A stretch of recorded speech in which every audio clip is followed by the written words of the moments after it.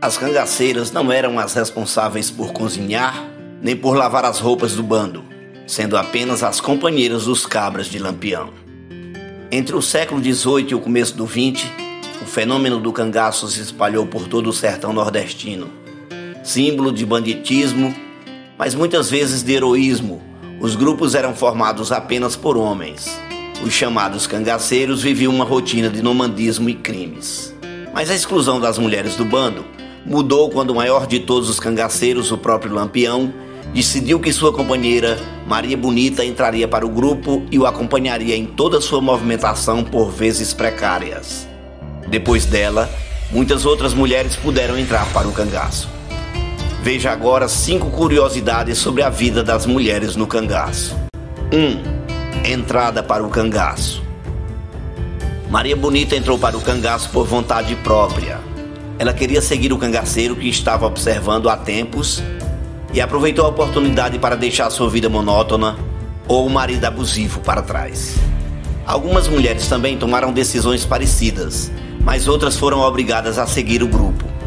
Inúmeras moças foram estupradas e sequestradas por homens de Lampião para permanecerem com o grupo no sertão. Uma delas, que se tornou famosa pelo nome Amazona do Sertão, foi Dadá. A moça foi raptada por Curisco, o braço direito do chefe, aos seus apenas 13 anos de idade e ficou com o bando por muito tempo.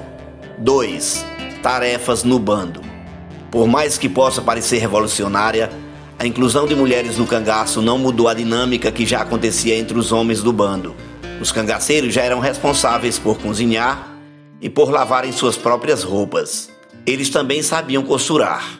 Lampião, inclusive, fazia isso desde menino. Não sobrava muito para as moças.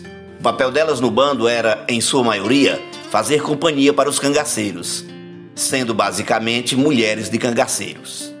Elas ficavam responsáveis por ajudar na costura e na organização dos acampamentos, mas não tinham nenhuma função além disso. 3. Sem armas. As cangaceiras não tinham nenhuma função estratégica no grupo, nem ao menos Maria Bonita, que era mulher do chefe.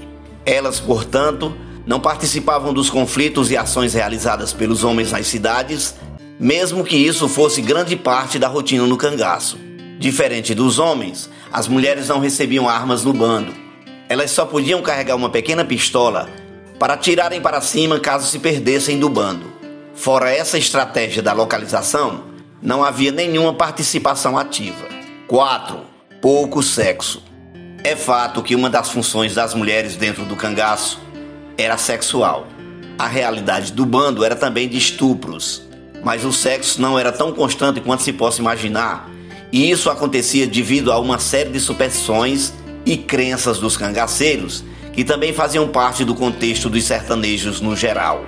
Uma dessas crenças era a do corpo fechado.